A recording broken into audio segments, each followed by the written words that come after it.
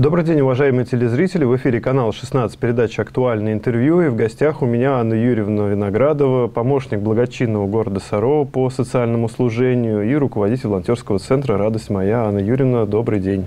Добрый день. Анна Юрьевна, хотелось бы поговорить с вами о, может быть, результатах работы волонтерского центра э, за лето э, и каких-то небольших, может быть, планах на осень-зиму, э, чем живет сейчас волонтерский центр, какие акции проводит. Ну вот я знаю одна, которая сейчас проходит, и я думаю, что а, нашим горожанам я предлагаю вам присоединиться к этой акции. Это «С миру по листочку». Расскажите, как дела, как происходит сейчас? Ну, начнем, наверное, с того, как мы прожили это лето. Обычно летом у нас такая некая передышка в июне месяце, вот. Потом уже к концу июля мы начинаем заниматься акцией «С миру по листочку», и так угу. вот потихонечку раскачиваемся.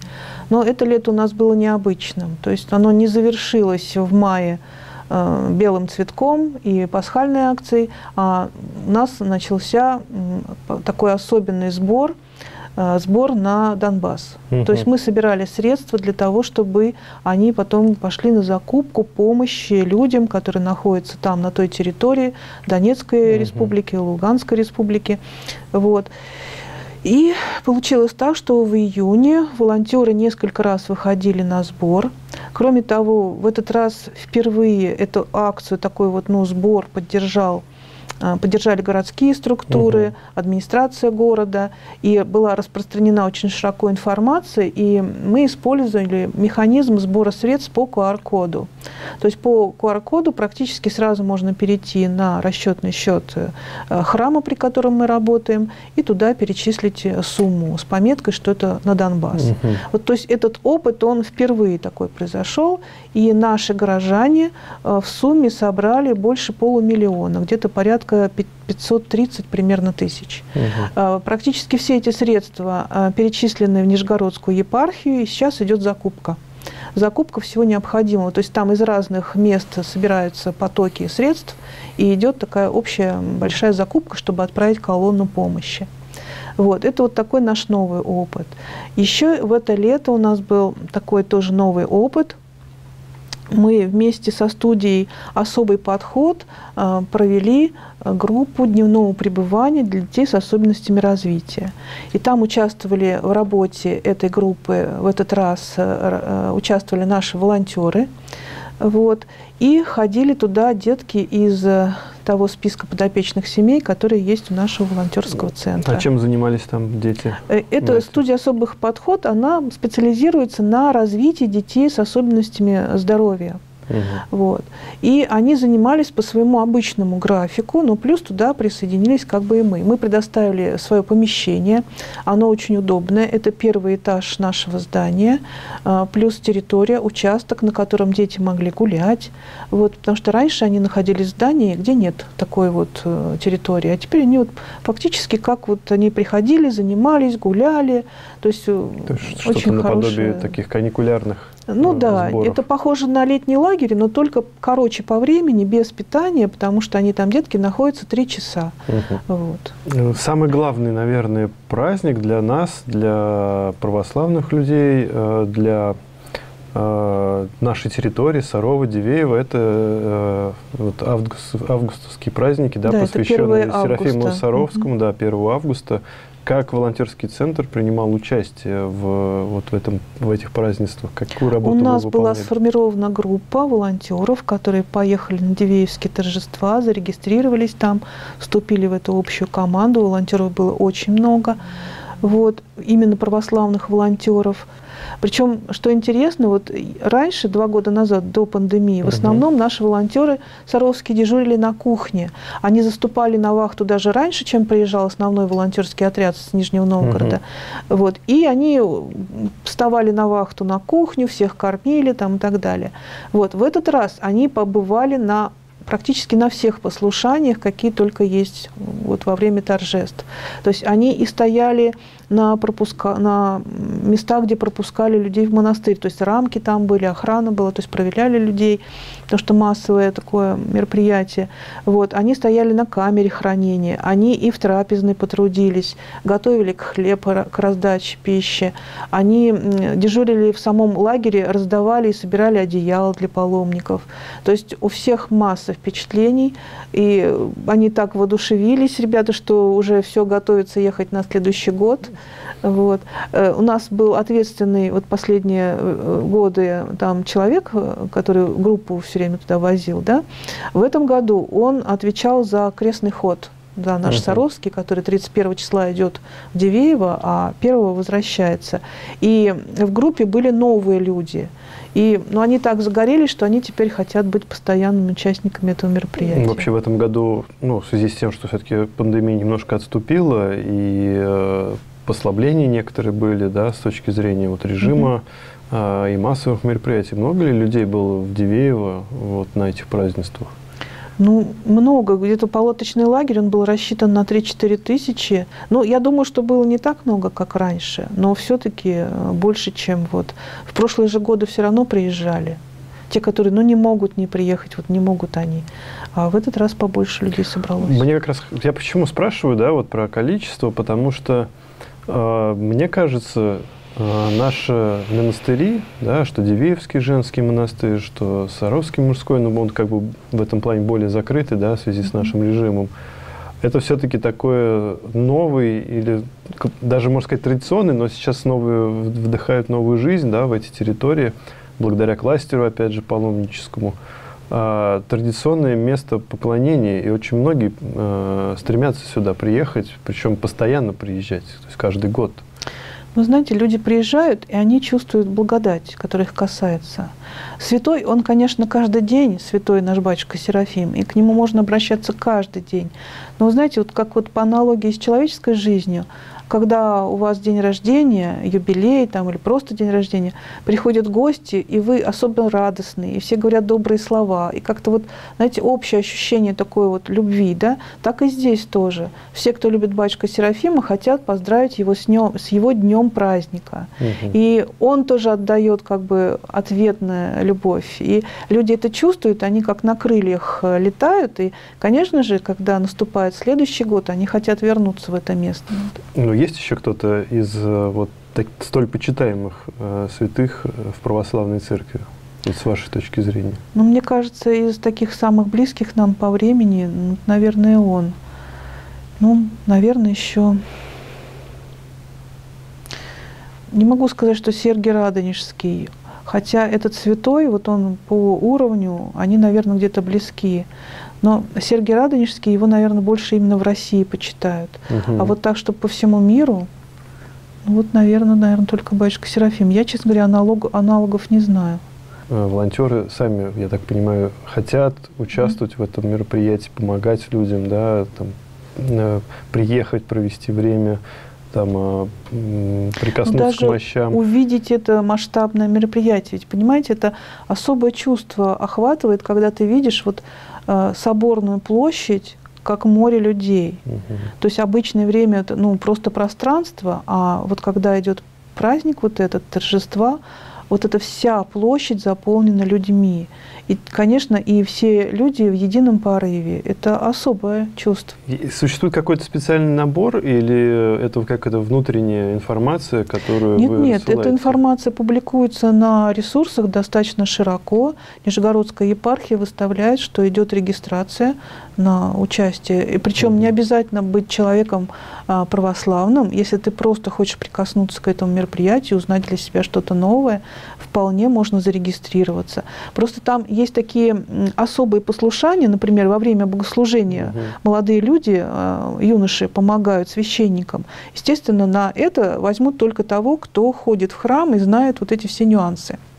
А стоять в цепочке или дежурить на кухне или на проходной может любой человек, угу. кто с уважением относится к нашей истории, к нашей русской православной церкви, и ему это интересно. Что же, поговорим про акцию «С мира по листочку». Э, я думаю, что ну, нужно как минимум нашим зрителям сказать, э, что они еще могут принять в ней участие. Да, в ней можно принять участие. Вообще хотела сказать немножко из истории. Акция идет, мы сбились со счета, но, по-моему, все-таки 2008 года она началась. В свое время она проводилась только для первоклассников, будущих выпускников 46-го детского сада. То есть там был сад с таким продленным посещением, угу.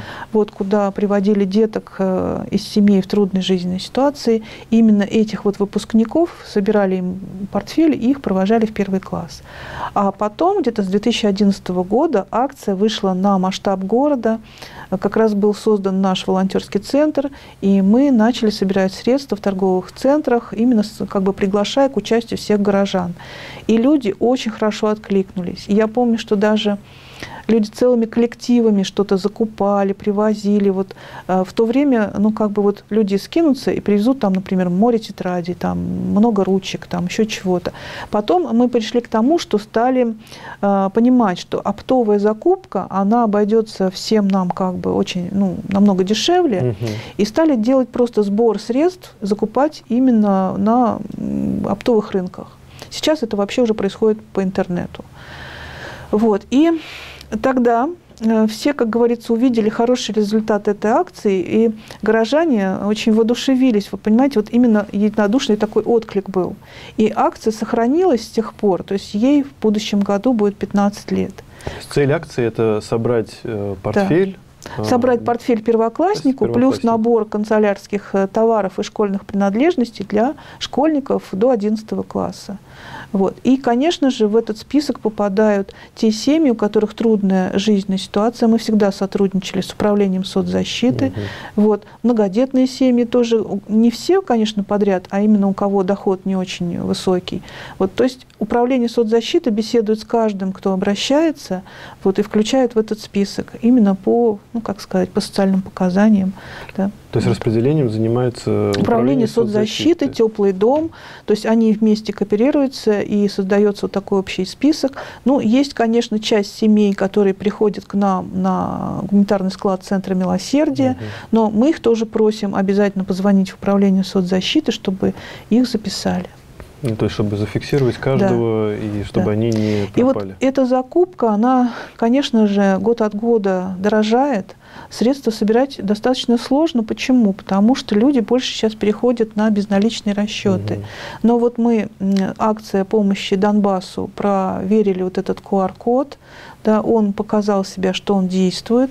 Вот, и сейчас вот во время нашей этой акции мы трижды стояли в торговых центрах, собирали наличными средствами, угу. но в то же время раздавали листочки, памятки, как сделать перечисление по QR-коду. И QR-код продолжает действовать, ключевое слово «помощь к школе». Вот, если вы работник в НИЭФ, то 1 сентября ключевое слово – вот, и мы продолжаем сейчас собирать пожертвования, потому что закупка уже произошла, но собрали мы пока меньше, чем вот, э, ну, у нас в нашем счете. То есть mm нам нужно добрать еще средства. Сколько не хватает? Не хватает порядка 40 тысяч, если вот на самое-самое необходимое. И, конечно же, хотелось еще приобрести для Э, наших нуждающихся семей, э, элементы школьной формы, особенно, конечно, это касается спортивной обуви, там, спортивных угу. костюмов. Вот.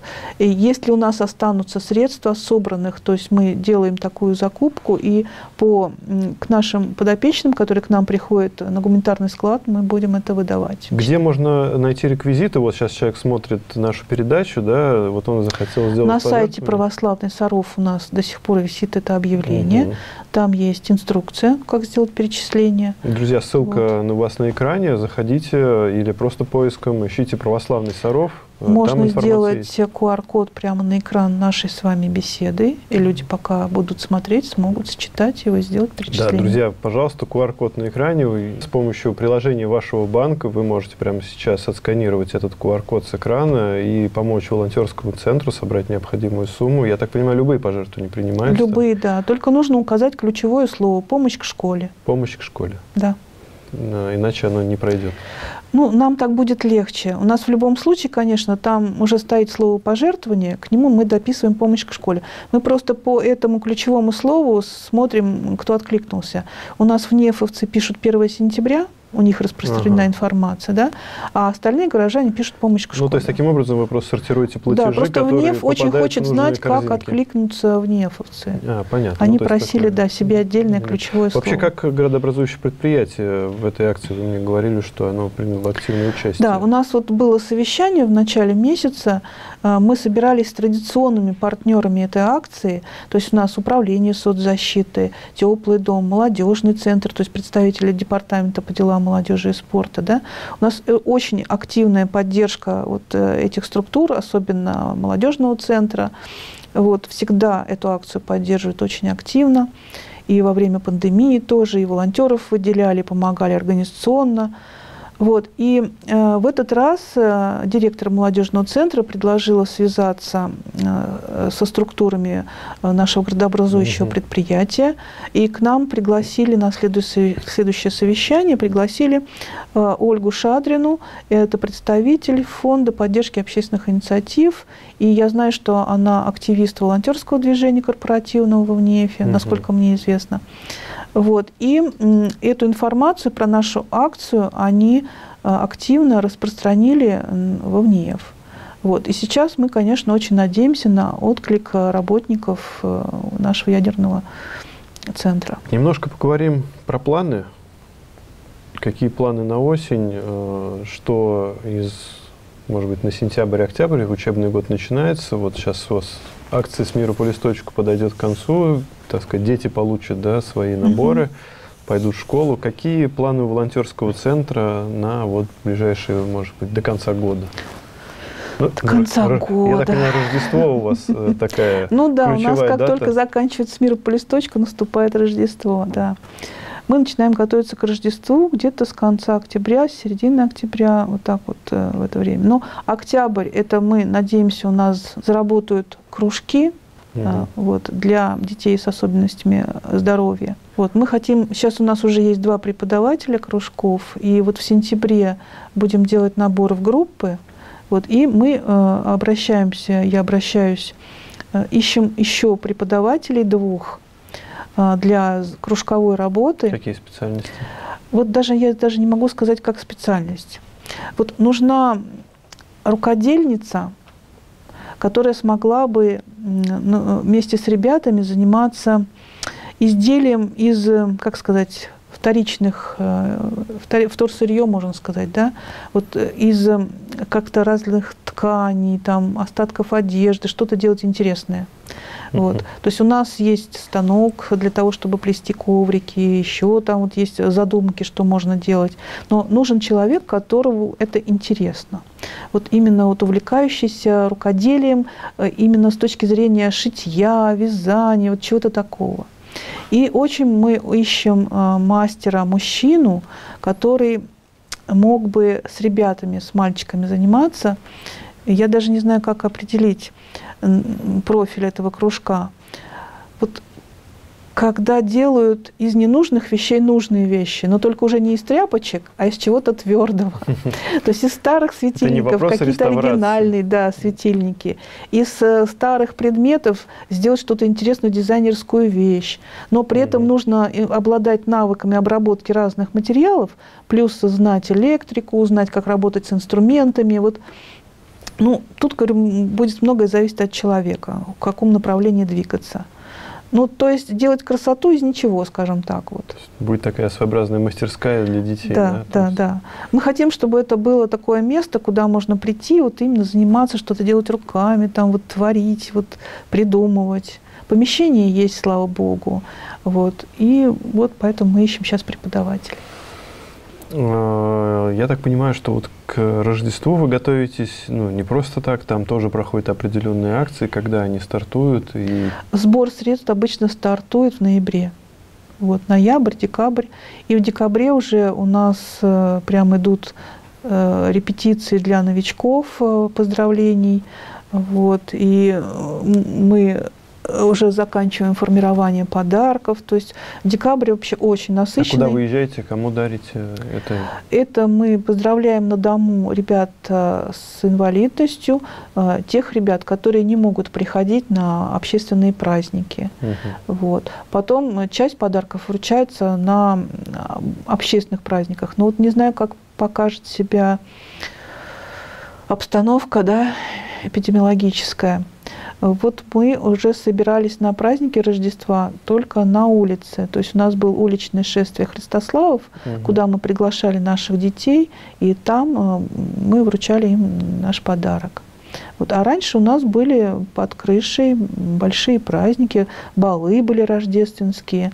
Вот. Э, посмотрим, как этот год нам позволит провести какой праздник.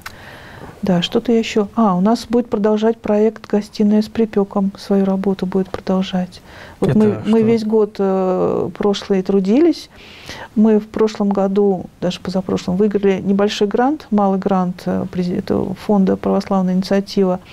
Вот. И у нас был проект «Гостиная с припеком». Это, как сказать, сопровождаемое обучение кулинарии угу. молодежи с инвалидностью и особенностями здоровья. Вот у нас он длился всего-то три месяца, но ребятам так все понравилось, что мы с ними занимались весь год. Угу. Вот, то есть до, до фактически последней встречи была где-то в июне. Вот потом взяли небольшой перерыв. И сейчас вот ну, снова Будете должны скоро начать да, занятия снова.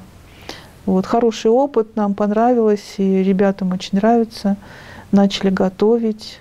Волонтерский центр, понятно, помощь детям, да, он вот ориентирован, да, вот те проекты, о которых мы говорим, они ориентированы в основном на детей, детей из э, сложных, которые в семьях, которые в сложной ситуации. А взрослые могут получить помощь волонтерского центра? То есть в ну, разные жизненные У нас, смотрите, бывают. волонтеры участвуют э, в разных направлениях. То есть помощь, например, детям с особенностями – это одно направление. Помощь малоимущим гражданам – это другое направление. Оно по-разному идет, вот, э, как сказать. Вот, например, к 1 сентября это семья, у которой не так много средств, получает помощь да, в виде канцтоваров. Но в течение всего времени, то есть без практически перерывов, у нас работает гуманитарный склад угу. Центра милосердия. То есть любой человек в трудной жизненной ситуации, взрослый он, не взрослый, он может прийти, записаться и начать получать помощь. У нас очень многие семьи получают продуктовую помощь, вещевую помощь, э, какой предметами обихода, там, домашнего, постельное белье, там, посуда. Э, понимаете, очень такая вот помощь регулярная. У нас где-то порядка 30 семей получают продукты на нашем складе. Вот. Еще порядка 60 семей в разных храмах города. То есть вот где людям ближе, угу. они туда приходят. Вот старая часть в основном завязана на нас и на храм всех святых. Угу. Вот. А в новой части это храм Иова Многострадального и немножко в царском храме на Менделеева. Угу. Вот, то есть распределены вот так многодетные семьи и семьи ну, в трудной жизненной ситуации. Помощь, я так понимаю, тоже этому складу оказывают жители нашего города? Да. Вот в основном продукты, которые мы раздаем, это то, что люди принесли в храм. Помянуть своих близких, поставили на канонный столик. Они должны понимать, что это все никуда не пропадает. Оно идет именно на помощь нуждающимся. Часть идет э, в трапезную храма, а часть вот именно на помощь, большая часть на помощь нуждающимся. Вот. И, конечно же, у нас бывают периоды, когда нам не хватает этих продуктов, особенно вот сейчас такой вот летний период сложный. Угу. Вот. Поэтому мы просим людей постоянно, что очень нужны продукты длительного хранения, то есть это крупы, масло, консервы. Мы очень просим всех приносить. Можно оставлять прямо, э, приносить записки за своих родных, и мы их передаем в храм, то есть деньги вы не платите в этом случае, как говорится, не даете пожертвований. Ваши пожертвования в этом случае – это вот те самые продукты, которые угу. вы принесли. Анна Юрьевна, я вас благодарю, что пришли к нам. Пожелаю вам успехов в работе вашего волонтерского центра, в работе с помощью нашим многодетным семьям, э, детям, и я призываю вас, дорогие телезрители, помогать нашему волонтерскому центру, складу гуманитарному. Э, все контакты вы можете сейчас увидеть на экране. Э, найдите возможность присоединиться к акции «С миру по листочку».